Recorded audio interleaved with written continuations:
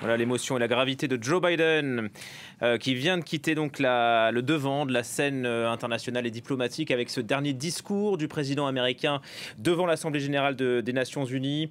Gaza, euh, le Soudan, l'Iran, l'Ukraine, l'Afghanistan, le Venezuela, même le Vietnam. Dernier tour du monde donc du président américain avec Antoine Mariotti. Des mots qui resteront lueur d'espoir, partenariat, coopération, solution diplomatique. On a assisté à un discours teinté d'optimisme dans un monde qui s'effondre.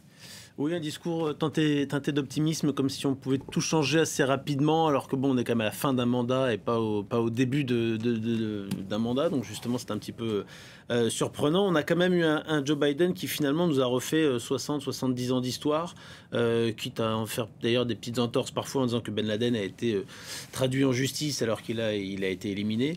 Euh, mais pour reprendre des, des références assez anciennes, alors pour Mandela justement pour, pour l'espoir et pour montrer aussi qu'il y a des réconciliations qui sont possibles sur le Vietnam aussi. On se rappelle tous évidemment de la guerre du Vietnam avec les États-Unis euh, en disant voilà aujourd'hui nous sommes plus proches que jamais. Ça montre qu'il ne faut jamais euh, désespérer. Pour autant, on voit bien euh, qu'il y a des blocages, que ce soit au Proche-Orient en ce moment ou que ce soit aussi en Ukraine avec la Russie. Et c'est là où il appelle aussi l'ONU à se réformer. Il dit que l'ONU doit redevenir un négociateur de paix. Sous-entendu, ce n'est plus le cas et on ne la voit plus beaucoup. Qu'il faut d'ailleurs réformer le Conseil de sécurité qui reflète un monde ancien et, et pas le monde euh, actuel. Donc il y a des choses à faire, mais en effet, on a un, un discours qui se veut euh, optimiste, mais en même temps, on n'a pas beaucoup de pistes concrètes qui nous permettent de sortir euh, des différents conflits évoqués par Joe Biden, et il en a quand même évoqué un certain nombre. Il y a des, su- des solutions diplomatiques, dit-il, euh, notamment à, Gaza, euh, en Israël. Euh, il ne s'avance pas sur, sur l'Ukraine. hein. Pour l'instant,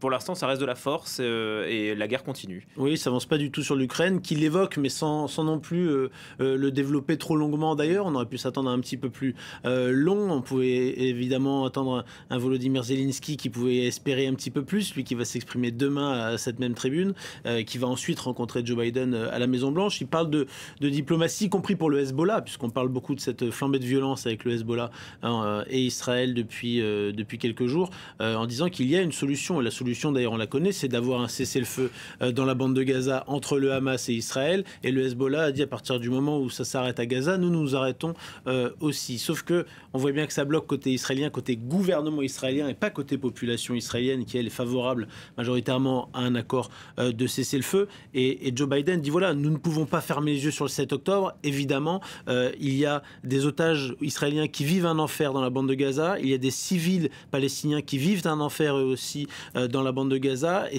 les uns comme les autres ne sont pas responsables de cette guerre. Il faut que ça s'arrête. Et il dit qu'il appelle clairement à la fin de la guerre et à ce que euh, Israël puisse être aussi en paix, mais donc avec un cessez-le-feu. Mais ça, il le fait depuis le mois de mai et il n'est pas entendu par le gouvernement de Benjamin Netanyahou. Mais il n'a pas réitéré ses critiques envers Netanyahou. Il a rappelé là qu'Israël avait le droit de se défendre.